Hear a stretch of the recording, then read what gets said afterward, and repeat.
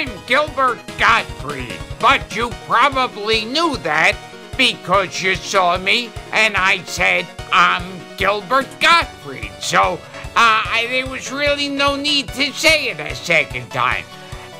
As I sat perched upon my stool of doom, I wondered where am I in this closed up room? I struggled, I strained, I tried to succeed. Where will this all lead?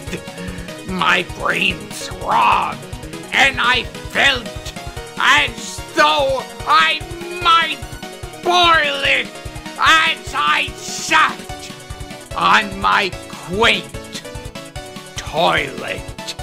You like my Ugu joke.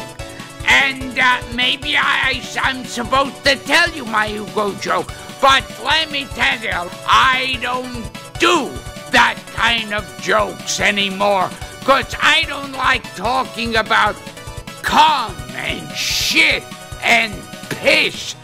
Well, I like talking about shit, but not cum and piss so much. Well, cum is good too, and I like talking about and piss and shit, but I'm not doing it now. I will not say words like cum and piss and shit.